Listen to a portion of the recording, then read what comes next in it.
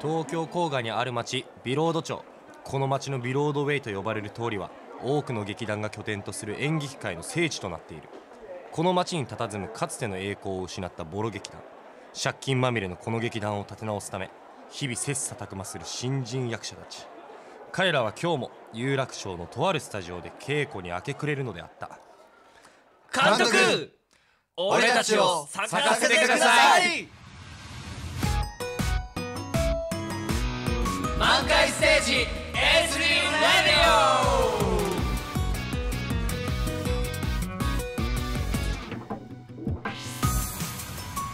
今回稽古に励むのは秋組兵道十座役中村太郎と。オ秋組七尾大着赤澤良太郎と。冬組アリス川誉役田中涼星と。冬組雪城東役上田寛大イエでーイ。はい今回はいやもうねえいいですか？どっちかに迷ったんですよね。でまず一個触れましょう、はい。最初のセリフ練習しといた方が良かっいやたですよね。全然合わなかった。息合って全ね。然合わなかった全然合わなかった。めちゃくちゃ目線やったの に。はい。今回は東京有楽町日本放送からお送りしている満開ステージ A3 ラジオ。はい、えーまだまだつぼみのキャストがですねステージで満開に咲くためにラジオという稽古場でさまざまな経験を積んでいく番組です。はい、えーはい。今回はこの4人でお送りします。いやいやいやいや。いやいします。どうですか今回？まあ全員初登場ですからね。そうですね。そうですよはいねそうですよね。俺ずっとやりたかったんですよ。マジ。A3 ラジオ。なんかあるじゃんツイッターのあアカウントで。みんなこうやって自撮りやでねはい満開ステージ A3 ラジオ 何々役の何々ですみたいな今回初めてねあれあれよね。あれ俺超やりたくて家で4回ぐらい練習しましたもん。あやってる。自分でもう四回シミュレーションしてんだ。やっぱ4回やった割にあの関係性があのあれなのかみんなバラバラだったんだよああなるほど。なんで最初にそんな空気にするんです ななんで壊しに来るんですか？健太と。かがねやってんの見てね秋組としてはちょっと羨ましい部分もあったりとかあったのね。やりたかったよしましたね順番来ましたよ、そう。そう。回してくれたよね。僕らの順番が。よかったね。そう。今回初めての共演が太郎なんですよ。お二人とはもう何回か共演してたじゃないですか。逆にみんな初めてだったりするんですか？だから俺は神田君とですよね。初めて。あそうなんあですか？ここだけが冬組では。いや今今の4人の話でしょ。あ今の4人の話。今のようにあじゃあ神田君あすい。ません噛み合ってない。なるほどねえわかんない。えどっちもそうだよねどっちもそうです冬組としてでもってことですよ。中組としても、うん。この4人のメンバーの中でもっていう、どおおなるほど。そうなんだ。まあ俺は寮生とはあるそうだよね。うん仲いいもんね。前回のせいやさんとレイさんの番組聞きましたもん。あなんか僕俺ちょっと聞きちらっましたよ。と聞いた。ちらっと聞いた。うん。どうしたの？いやなんか いじられ役って俺が言わ いや自覚はあるんですよ 僕も。皆さん本当に、うん。自覚はあるんですけど、うん。でもなんだろう。でも稽古場がねすごいいい雰囲気というかなんか最初の方とかみんなちょっとね緊張するじゃないそうだね。僕のそのキャラクターをこう通してみんなが仲良くなってくれたのがすごい嬉しかったな。びび結構びっくりしたんですよ僕。何が？太郎ってそうすごくなんかめちゃくちゃ自分持ってる子かなと思って、持ってないってわけじゃないよ。遠回しに違う違う違う。最初のフォローね。最初のフォロー。大事遅いけど。けどなんかこんなに親しみやすいんだっていい意味でう、ん。めちゃくちゃみんないじるから。そんなことないですよ。一回これじゃあ始めちゃった方がいい始ですね。めますかね。はいそれではですねもうこのまま引き続きっていう形になりますけれど4人でね、あのワイワイ喋らせていただきます。はい。満開ステージ S3 レディオ。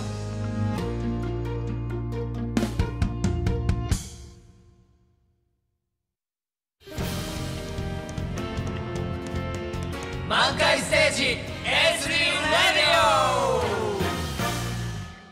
東京有楽町の日本放送からお送りしている満開ステージ A3 ラジオ。この時間は引き続き秋組兵道十座役中村太郎と。オ七尾大着赤澤良太郎と。冬組アリス川誉役田中涼星と。冬組雪城東役上田寛大の4人でお送りします。お願いします,、はい今回はですね4人全員が番組初登場ということで、えーみんなで自己紹介をお送りしていきます、はい。えー最初は太郎からです。そうだね。俺からだね。はい。自己紹介。お願いします。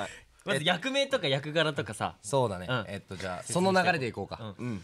えーっと秋組。ちょっとあの俺のターンだから。そう今ちょっと静かにしてごめんね。伝わらないからラジオじ秋組、えー、兵道十座役の中村太郎です。ゃはい。そうですね。役柄ね。うーん。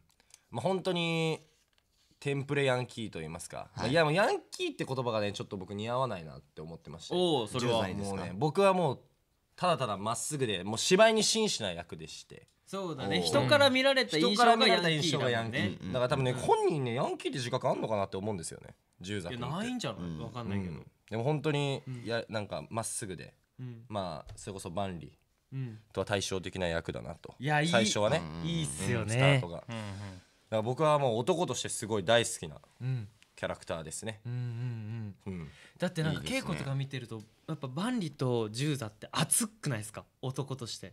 まあだからねね。ああいうそのなんか友情じゃないけどさ、うんうんうん。なんかその男同士の絆みたいな物語いいもんね、いやあれめ熱くなっちゃういやめっもんね。こっちちゃいいよ。そうだからもう分かりやすくさテンションが上がるというか,、うんうんうん。まあそうそうだね、うん。うんうんそういうところがやっぱりなんか十座の良さであって秋組のなんだろう、まあ、万里の良さでもあって秋組の良さなのかなっていうああなるほどとこを感じたりしますけどね僕は。可愛いよね十座。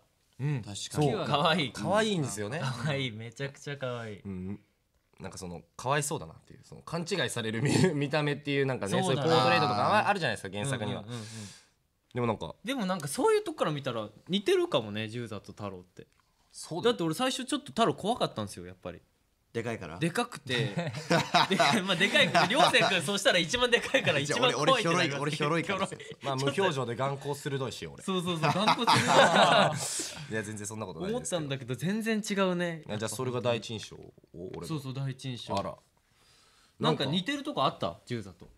十座と似てるところか。でも確かに稽古とか始まっていろんな現場で。最初僕ちょっとシャイなところもあって あの本当にあのねキャラに似合わないんですけどシャイなところとかあって、こう話話せない時とかあるんですけどそれでなんかやっぱ怖いって言われることが多いんですよやっぱ大きいし喋んないからね、うん。うん。でやっぱ無表それこそ無表情になっちゃうとやっぱりそのね他のキャストの方からしたらなんかいや話しかけづらいなって勝手にこうなっちゃそううねちょっことが思っちゃう。なんかやっぱ緊張するし最初はこっちも。確かにね、ちょっとそこはショックだったりもしますよね。へげあれどうですか？神田君は太郎どんな印象ですか？第一印象というか。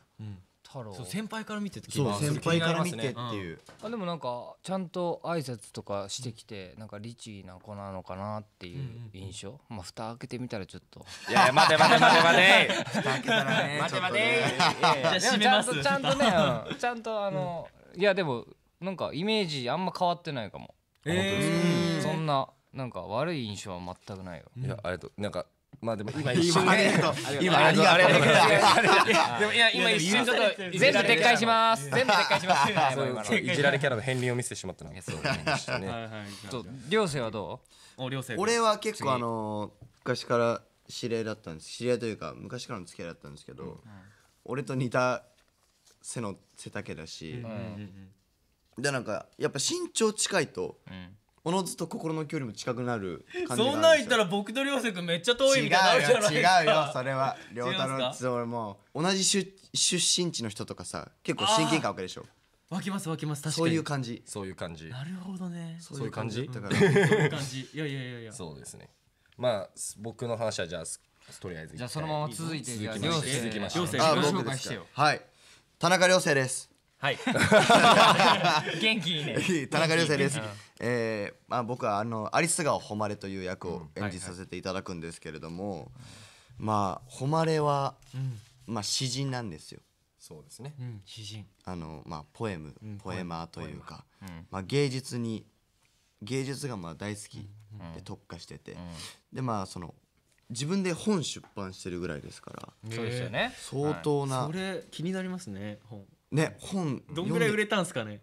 いやね気になるよね。すごい。だその髪型も、ん。あの右側うん。がこの髪の毛長い、まあ、アシンメトリーというかシンメ。トリーのヘアで、まあ、こう結構芸術に特化してるというか、そういう人物なんですけれども、はい。まあただちょっとね人の心がわからないという細あの胞ですもんね。そうなんですよ。うん。壊れたサイボーグって言われちゃってるんではい昔の恋人さんに。だからなんかでもその空気はよ読めるんですよね。そうなんか空気は読めてるんですよ。うん。読めてるけどけど共感できないっていうかそうあのれですよね。パーソナルスペースにすごいズカズカっていっちゃう。でもそれは結構誉れのなんか中でその正義だったりへでも結局あやってしまったみたいな。ところがなんかその誉れの普通普段のキャラクターの中にそれがあるってなると、なんかよりすごい愛情が湧くというかそんなキャラだなと思うんですけど、あビクトルは違うけど、ちょっとなんか似てる部分ジューザと似てる部分があるかなって思うことがあるというか。あーまあ人の不器用というかね。あーまあまあまあね。そういうところはね。人に思われることと自分が思ってることがちょっと違うっていうギャップがあるってところはね。なるほどね。そうですね。どうなの？あの両生は、はい。さあの二人はさ共演したことがあるそうですね。のよね、なん僕もかどういう印象なの？いやーもうじゃあ俺から言っていいですか、ん。もう僕は最初誉さんを涼星君がやるってなった時、ん。間違いねえなって思ったんですよ。おいおいやめろよ。ぜいやいやもう 僕の中でこういうキャラクターをやられる涼星君ってすごい素敵なイメージがめちゃくちゃあって、はいい。ろんな舞台見させてもらってるんで、嬉しいよ。だからいやこんなんハマらないわけないやんと思って稽古見て えやっぱそうなるよねって思ったのを覚えてます、ね、本当？はい。嬉しいな。太郎は？すごい空気にマイナスイオンを含んでくれるというか なんか言い方が分かんない。清浄機じゃん。空気清浄機。マジ空気清浄機って言ったらなんか悪いかだけど、なんかなんだろう。そのみんなをこうまとめてくれる、でもそれがその分かりやすくまとめるんじゃなくているだけでああそうだね。みんなのがこうみんなをいい位置の、ね。ちょうど真ん中にい,、いてくれるようなあ人というか、まあ背中で語るタイプだからねい俺ね。やそれとはちょっといやでもこういうこれは違うよ。これは違う。それは違うけど。えそう。でも冬組の中でどういう存在なんですか冬組の中ではそのあの役関係なしで普通に、あの両生上田寛大とかってなったら最年少やから、そうですよね。そうなんです。一番やっぱやっぱり重宝されてるわけですよ。超あ俺重宝。されてるんですね重宝されてるね。でもこの立ち位置の寮生をさ見ることが初めてだから。あで。そうなんだ。い。つもはだから間ぐらいにいて年齢層的あなーそうなんねでこうみんなのこう手を取り合ってって感じだったんで、今末っ子っぽくなってんのがちょっと僕的には、でも今ねこのもう今始まってねあの何度か両生が笑ってると思うんですけど、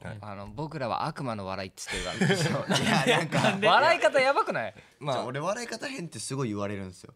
でそれを言われてなんかあそうなんだなって思う思うけどもう笑い方変えられないから俺が笑うと大抵みんな笑ってくれるんですよどんな笑い方？いやもうあの多分7パターンぐらいあるんだよ、ね、7パターン。ぐらいそんなにあるんすか？7パターンぐらい今までの人生で変えてきたの。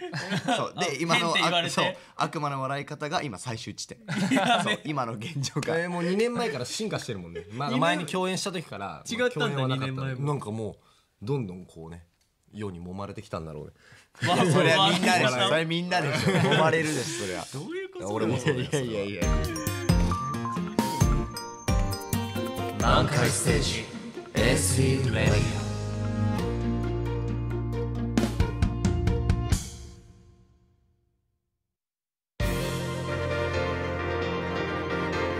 満開ステージ SE レディ満開ステージ A3 ラジオ。この時間は秋組兵道十座役中村太郎と。オ七尾大着赤澤良太郎と。冬組有須川誉役田中良生と。雪城東役上田寛大の4人でお送りしています。はいはいはいはいはいはいということででは次良太郎の自己紹介をお僕ですか？はい。いっちゃいますか？はいえー、七尾大着赤澤良太郎です。よろしくお願いします いや始まりみたいな。始まり。一番最初のやつ。もう一回今番組やり直すそうそうそう。これまず役柄を説明するんですよ。ね、はい。え太一は、もうめちゃくちゃ人間って俺最初思って、うん。なんかだどのキャラよりもっていうかやっぱりそのストーリーも太一の人間性にすごくフォーカス当ててるから、うんうん。はい。深掘りがめちゃくちゃあるし、うん。で誰よりもなんかその、まあ、自分の欲に忠実っていうか、うん。芝居が好きって気持ちにまっすぐだから、うんうん。それっていろんなあれがあるじゃないですか、ん。何笑ってるんですか？ずっとお腹がちょっと関大君もうああもう喋る気なくした？ああ可愛い子た。可愛いとこ出した。可愛いとこ出した。可愛いとこ出たよ良太郎。のはい。続けて。大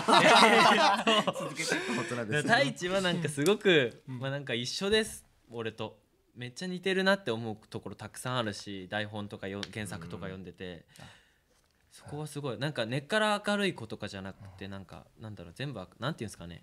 まあ太一は俺です。じゃあまあまあ良太郎的にはやっぱ太一は自分に似てるとこが多い。そうだね。どんなとこが似てるって思うの？なんか人間的な欲求が俺は一緒だなって太一と思う。人から好かれたい、愛されたいって思うのは、うん。多分、まあ、みんな人として生きてるんだったらそう思うと思うけど、いやそうですね。みんな人としてまあ多分誉さんとかまたちょっと違ってくるのかなと思うけど。あー。わかんない。太一とのあれは。太一はすごく人間だから、だからそういうとことかも似てるし、まああとなんか俺小学校の頃とかあんまめ本当に目立たないっていうか、全然ふ普通にめちゃくちゃ太ってて眼鏡かけてて、俺あだ名が太しだったんですよ。マジで？太ってるから。今にはとは想像できない。いやいやいや全然想像できない。太しってずっと言われててみんなからいじられてて。マジか。そうめっちゃあだ名ついてるねそう考えると。そうっすね。なんかそのところも なんかがたがたいがめちゃくちゃ良くて GM でしょ？そうがたいマックス略して GM って呼ばれててはいこれが悪魔の笑いですね。本当だ。GM ってやばくない。ですか GM GM とかなんかピーナッツバターをなんかすごく僕がなんか好きだったんですよ。給食でめちゃくちゃピーナッツバター取るからピーナッツってずっと呼ばれてた時期もあったんですよ俺。バターを取ったんだよバターを取ってただのピーナッツバターピーナッツになってそれぐらいなんかその人から認められたいってだからそう今こういう仕事にも憧れはその頃からあったしなんかそういう面で太一とは俺似てんのかなって思ったりしますね。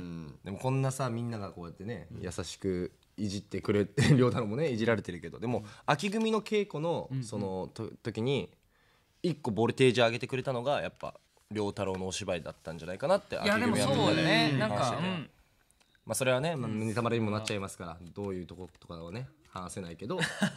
そうでもいやそれすごいねいね。素敵なお芝居でみんなのなんだろうお尻に火がついたというかやんなくちゃいけねえなっていうこうスイッチになっギアがね。たとこがでもなんすかねあの稽古やった時の顔が僕めちゃくちゃ覚えてるんですよ。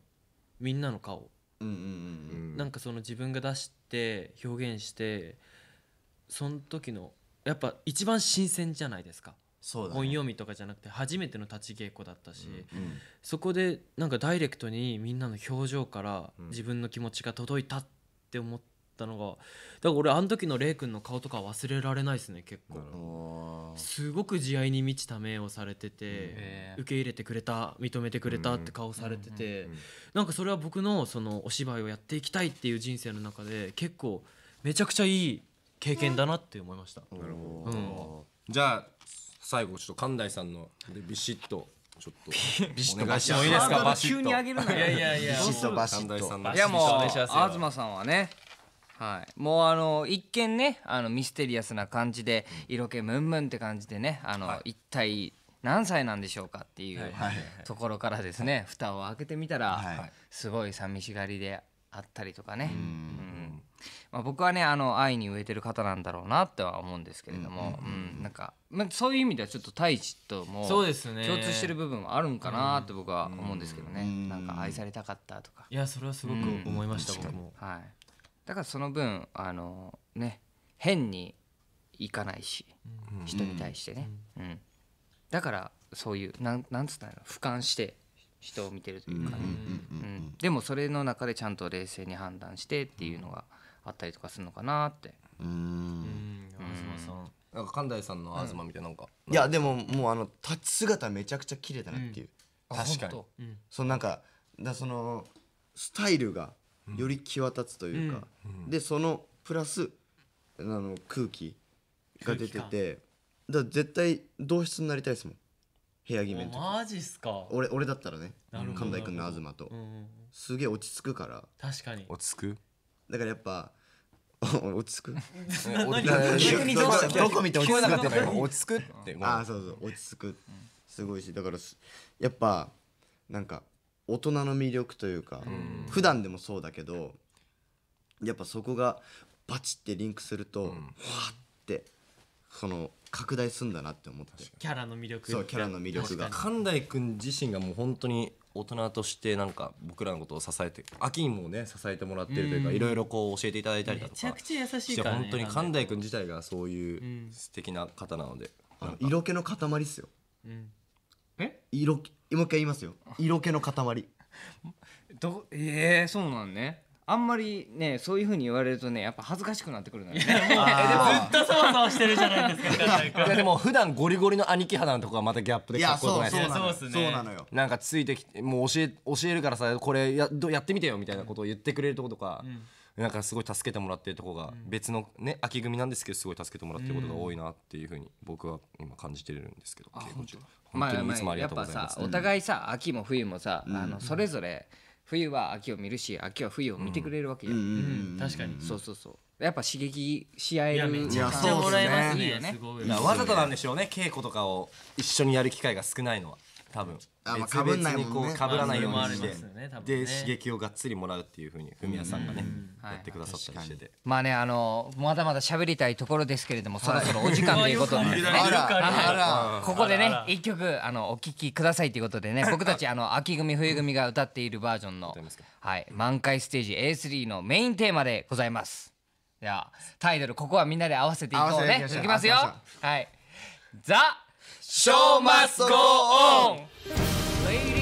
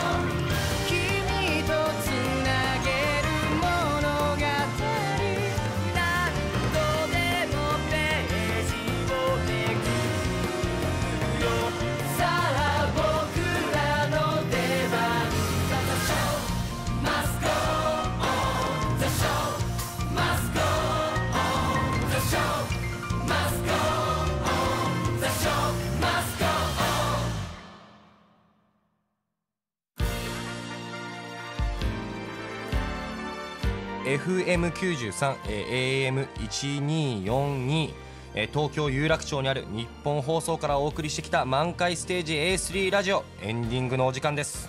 早い。早い。あっという間に早い。その時間すぐはですね。本当に。ねもっともっとね話したいことあるんだけどね。うんいやね。たくさんあるね。でもこれちょうど本番期間中ですからね。そうですね。あそうだそううん。だそうだ。これを聞きながらね聞きながらねあのまた舞台を楽しんでいただけたらなと思いますよね。い。ただけたら嬉しいですね、ではでは番組ではあなたからのメールをお待ちしています。受付メールアドレスはすべて小文字で msa3 アットマークオールナイトニッポンドットコム msa3 アットマークオールナイトニッポンドットコム3は数字の3です。はい、えー番組の感想や出演者への質問を送ってください。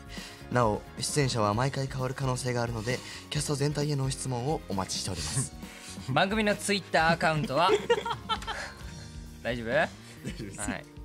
番組のツイッターアカウントは？MSA3 アンダーバーラジオです。ぜひフォローしてください。はい。はい。はい。えー番組ホームページではですね僕たち4人の写真やこれまで放送した番組もアップされます。A3 ラジオで検索してみてください。そしてお知らせですが満開ステージ A3 オータムウィンター2019が日本青年館ホールで絶賛上演中ですこの後山口県下関大阪梅田そして3月には天王洲銀河劇場で凱旋公演を行います。えーチケットはすでに完売となっておりますが、えー3月24日日曜日の東京凱旋公演大千秋楽のライブビューイングを行います。ありがとうございます、えーライブビューイング特設サイトで詳細をご確認ください。そして満開ステージ A3 オータムウィンター2019がブルーレイ &DVD の発売が決定しました。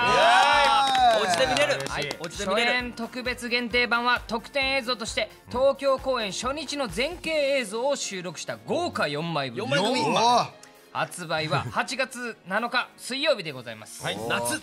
夏。夏ですはい。満開ステージ A3、えー、オータムウィンター2019ミュージックコレクションも現在予約受付中です。はい。詳しくは満開ステージ A3 のオフィシャルサイトをチェックです。はいではもう残念ですが、えー、お時間でね。お時間が来てしまいましたのでですがね。来てしまいそれでは今回のお相手は秋組兵頭十座役中村太郎と。七尾太一役赤澤遼太郎と。冬組有栖川誉役田中涼星と。雪知らずマイク上田寛大でした。バイバーイ